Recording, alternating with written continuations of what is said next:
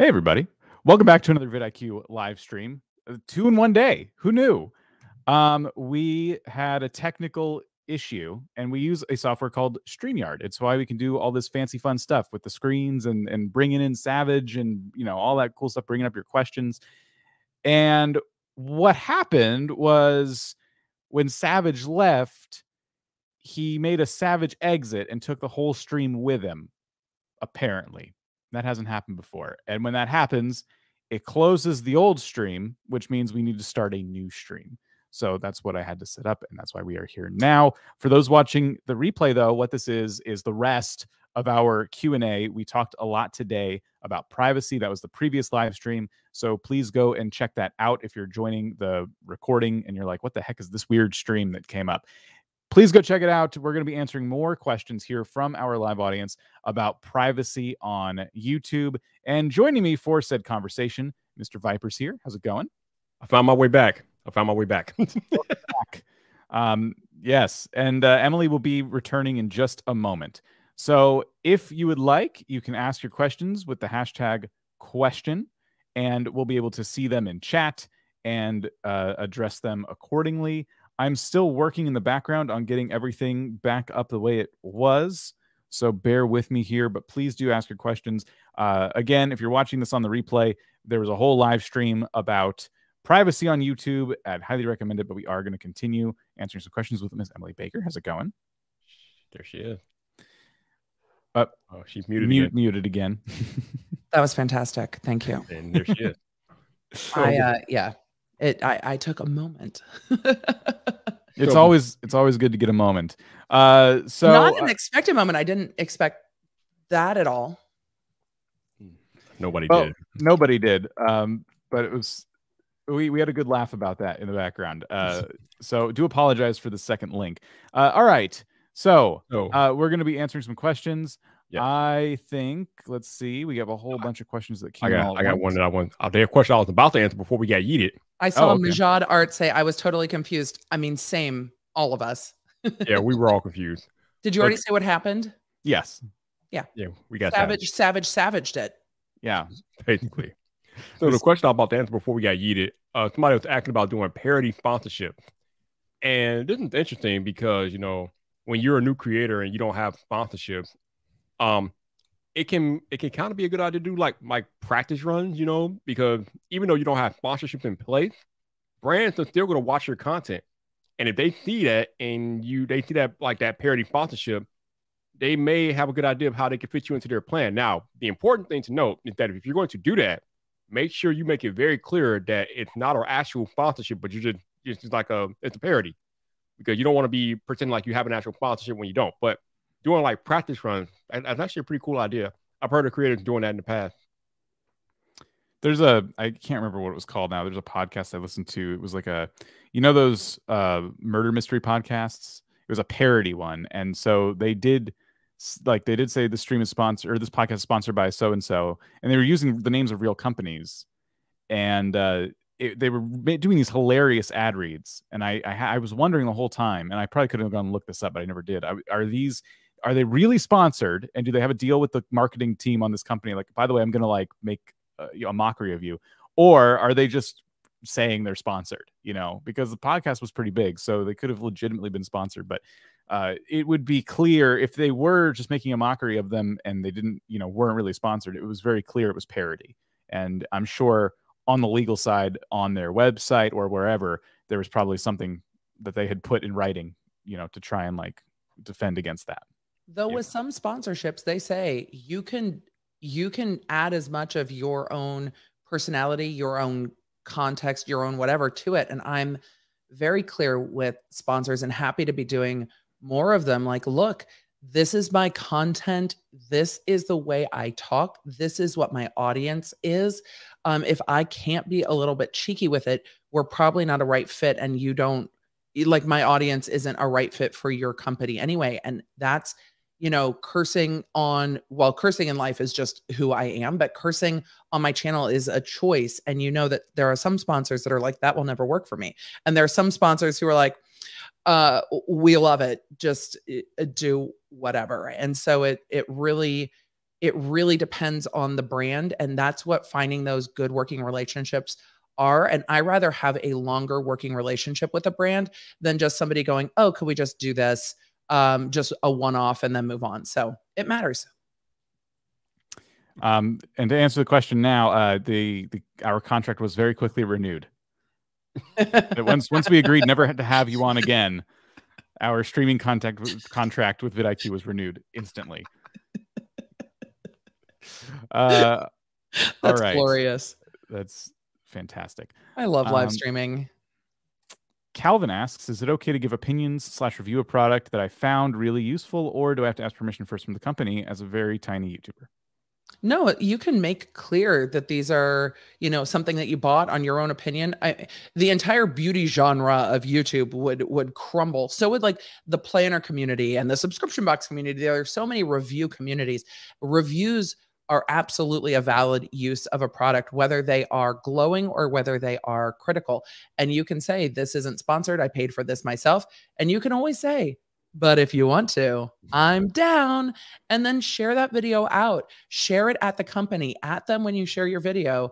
Um, I'm sure Viper has stories of not just himself, but creators he's worked with who have found giving those type of reviews as a way to get your foot in the door with companies you want to work with. Yep. There, there was a uh, creator we talked to on the podcast uh, who touted the same thing. They basically were making straight up like ads for different products, people they would like to work with. And even if those particular companies weren't on board with becoming a sponsor of his content or affiliated with him, it was still a great portfolio piece. Like this is what I I'm capable of doing with these products, you know. So as you go and approach other potential sponsors for your channel, like this is what an ad for your product might look like. Yeah. So yeah, it's I wouldn't do too much for free just as a, a rule, I guess. But that that's just me the the yeah. more free work you do like you know there, there's a i think there's a balance there the other thing is that if you buy a product or whatever buy, uh, if you buy the product or service yourself you have full carte blanche to pretty much do whatever you want however what i will say is if you are going to put your thoughts and opinions or review out there about a particular product or service you better make sure your information is 100% correct because if you're out there giving the wrong information eh, when it's going to become a problem but as long as you're giving accurate information you can do what you want to do absolutely 100%. All right. Calvin, that was a great question. Yes, thank you, Calvin. Great question. Hashtag question if you want your question answered. We're taking Q and A. We're doing Q and A for another fifteen or so minutes. Yep. Um, let's see here. Um, I saw Yo Music ask question: How useful is an official artist badge? I don't know what that is. Also, you can ask once; it's okay. Don't try to distract the ADD member on the the stream. We don't. we'll get it. Don't worry, we'll get it. Yes. I don't know what that is. Um, that is the little music icon some music channels get next to their name. I don't know personally because I don't know enough about music channels how you acquire that. I'm guessing it could be the fact that maybe you publish songs on the you know the YouTube audio library, but I'm not I'm not too sure. It does it does kind of look cool. It makes it, it has adds this like layer of like legitimacy. Like this is a music channel. I just don't know the steps to get that, and then from there, what you unlock with it, if anything. I feel um, like YouTube has like two completely separate parts of YouTube, or like three. Like YouTube Originals feels like one place on YouTube. Yeah. YouTube Music feels like a completely different YouTube. And then there's like the YouTube that I live in with tech channels and makeup reviews and commentary and actual like creators that I follow. And then there's like YouTube Shorts YouTube. I feel like it's kind of all of these like different platforms where you kind of fall down a rabbit hole depending on what your mood is. But I'm always look, when I hit 100K, yes, I was excited about the play button. Yes, I was excited to hit that level of subscribers. Yes, I'm still surprised that many people watch my channel and I love it. But the little tick by my name meant the most to me just because when people try to sell you some kind of crypto saying that they're me, you now know it's not me. So mm-hmm. for me, the things I've done to build trust with my community, it's really important that there are ways for me to show that it's actually me. And that little like icon tick that verified um, helps me maintain you know maintain my channel and be protective over what i share and what i put out i imagine that the official artist badge is the same thing it helps you build trust with your community now if twitter and, and instagram would just get on board it would be It'd be Yeah. epic. That'd be great. It- Real it's likely because you're on the YouTube Music app because there is a separate app for YouTube Music itself and similar to Spotify, similar service. Maybe if you are an artist on YouTube, that's that's what that means. Like you could you, they can find you on that app because they are two integrated services. So, sorry, Viper, were you trying to say something? I was just saying, real, real, real Emily, please stand up. That's right. That's right. we we like look i'm not going to lie when i say there are times i very much appreciate a little bit of external validation and the little verified check mark on youtube is external validation and i appreciate it i also love the little apple badges every week and every month i live for those external validation is very motivating it's why i like video games it's like look bing bing i've leveled up They, they've gamified it. Yeah, like uh, those gamification uh, tactics that YouTube and other platforms use. Definitely, you know that who who doesn't want to work towards the hundred k plaque. Absolutely. It works. I my only problem as, you know, people a lot of people with ADHD also do very well with like reaching for those bench markers and mile markers because novelty helps our brains be like, "Ooh, there's this thing that I'm shiny uh, that I'm going after." And I find that YouTube's gap between 100k and a million to be way too long for validation. It's like, where's the middle ground? Come on, YouTube. It's like there I, I need there to be middle ground of things that you like levels you unlock. I don't know. Yeah, Maybe it's just me. I 500 subscribers for the community tab now. Uh, 10,000 for stories, That's very cool. and then a 100,000 for the um, play buttons. It's kind of like these weird gaps, and then the community tab will eventually be open to everyone. I'm bet I'm betting stories will eventually open up to more people too if they keep doing it. Because stories and shorts are so similar, it's So weird. similar. um but yeah youtube's a definitely a fun place when it comes to gamification it, it's it's it's very strangely segmented Yes. uh all right so this one i think you or viper are probably better prepared to answer this than i am i have a company sending me products to review should i have gotten something in writing No. At least an email. I Yeah. mean, if they're sending it to review what their expectations are, what if you don't like it? Would they prefer you not make a video? Um, I don't always re- receive and accept free product for the purpose of, hey, we'll send you this to review, um, without saying, if I'm going to review something, it's going to be my honest review, what have you. But making sure there's a communication, at least an email, helps so that there's clear expectations. Because what you don't want to end up doing is have them send you a product to review, you film it, you edit it, you get ready to upload it. They see it and it's already been live and gotten views. And then they're like, oh, we don't love this. Can you change that? And you're like, wait a second. We didn't talk about whether you would approve it before it went live. We didn't talk about what your expectations were. So making sure there are clear expectations. If the expectation is we're going to send it, if you like it, you do. If you don't, you don't. That's fine. Then that is something in writing. So as long as there's some communication, email can be enough. And um, making sure that you save those is helpful. Oh, Viper, Emily, Emily is like better than me. stories. Emily is better than me because I ain't. it- It's not getting that deep if it's just a review. If you send me a product to review, I'm going to review it. We not we not doing no back and forth and all this jazz. Now, if you want to pay me money, then we can go, go back and forth Right. and do all that jazz. But, But there's companies that will do that to creators. And oh, say, I'm sure "Oh, they will. They'll this? Try. do this? And if you don't know as a creator to say, no, that's not what you said when you sent it to me, you can feel like as a creator, especially if you're a newer creator to getting stuff sent to you for free, you can feel obligated and end up spending more time and energy than what you would have just paid for the product at, at- in the first place. Um, and so I've seen creators in very unclear brand deals that are doing three and four re-edits of things. And it's like, no, that's this is now costing you money to do this thing for this brand and that's not okay Ew. so Nope. communication clear communication is key in all things and it's okay i would rather lose a brand deal because i've asked for clarification than go into it not being exactly clear on what i needed and i've gotten better at that as a creator saying oh well what do you mean by this and what do you mean by that and is there exclusivity and how long is that for i want to know these things at the beginning and most brands are happy to say, oh, this is what we mean and clarify it for you. Don't feel badly asking a few more questions. And if they're like, oh, this is too much hassle, they're not the right brand to grow with you in your channel. Yep. All right. So Square Table Degenerate Podcast asks, how do you feel about the YouTube generated thumbnail for real? I think they're perfectly fine for live streams, a screenshot from the interview or the show. Um, yeah, it, it, it depends. Um, for non live stream videos, no, no, absolutely not. Um, you should always make a custom thumbnail because, as I've told you guys over and over on these live streams, the thumbnail is the first impression that you make to a potential viewer. And if you're just using a random generated YouTube thumbnail, then that shows that you don't really care about the content. And why should a potential viewer care about the content if you don't care enough to put an actual custom thumbnail in there? So, uh, I would not do that. For live streams, I mean, I would almost, I would almost consider making a custom thumbnail for live streams. But to be completely transparent with all of y'all, I don't make custom thumbnails for my live streams. I just, I just, I do. It's, a, it's the, I just throw the channel banner up there. But I do my too. live stream channel, I'm not really trying to, I'm not really care about growing it, so that's why I don't really put that much effort into it. But Unless if I am if I am doing like an emergency stream where I am running really late, I'll just let it be the channel banner. But I generally make custom thumbnails when I know my topics. and sometimes I'll go back and fix them after the live stream if I don't get to a topic or add another one. But I find that when YouTube, and I can see it now in my analytics, when YouTube starts sharing out my stream that it is live, I can now see um, when it starts getting picked up and seeing what that click through rate is.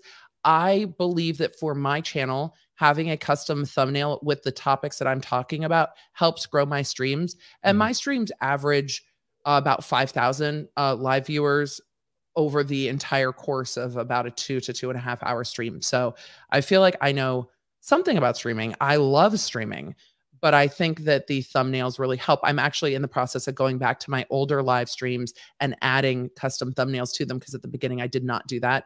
Um, and I've experimented with it, and I would Mhm. say experiment with it. Yes. YouTube's not going to punish you for trying it this way than trying it that way. And doesn't vidIQ have a split testing feature I don't. I in don't think we- thumbnails? I think you do. Mm, do we? I'll I'll double check that because I never. I that's the thing. I never. I would never use it if we did, just because I never think about it. It's that represents making two thumbnails.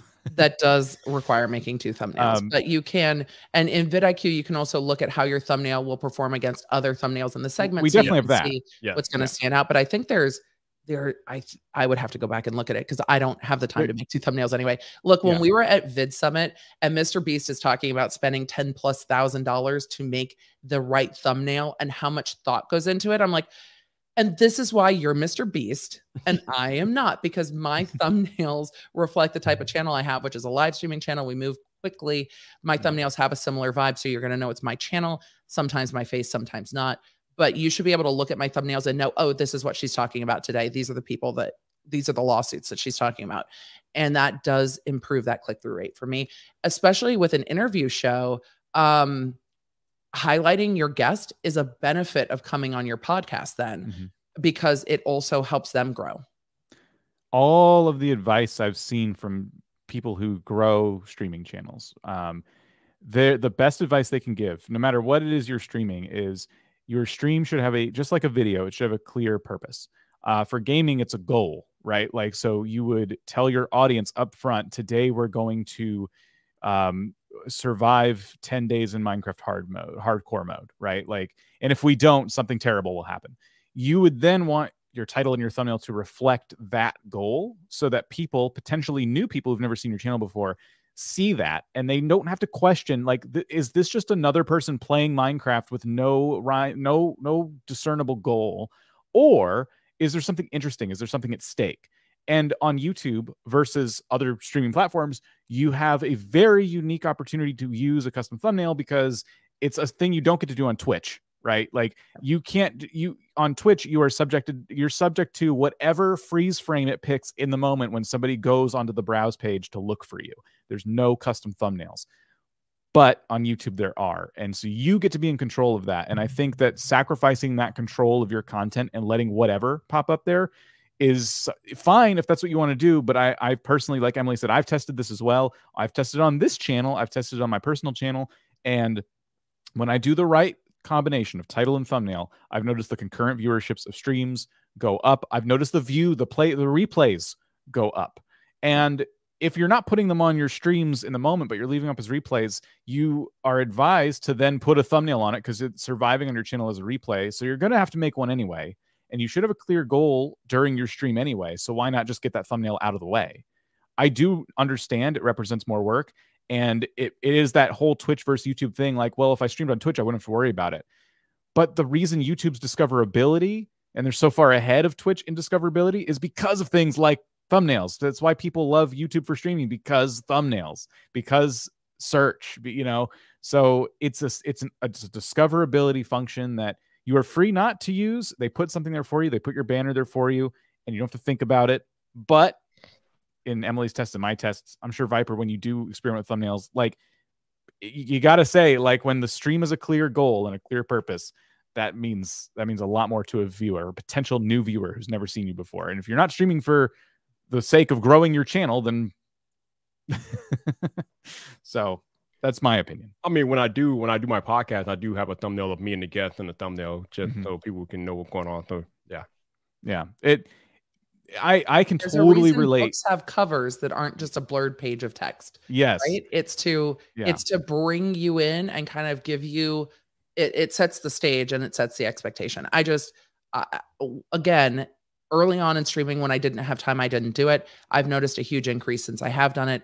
It's always worth testing. I don't think you have to spend Mr. Beast level time on thumbnails. If you have time, there's a lot of nuance to thumbnails you can dial down. Mm-hmm. I tend to look at what the other thumbnails in my space are doing um, and then make sure that mine will stand out but have a similar feel so people are like oh i'm in the right like oh i'm in the right place it's the reason businesses have signs outside i'm in the right place and that's yeah. how you want your audience to feel just make it easy for them yeah. You have a podcasting channel. So it's super important, I think, because discoverability for podcast channels can be really tough.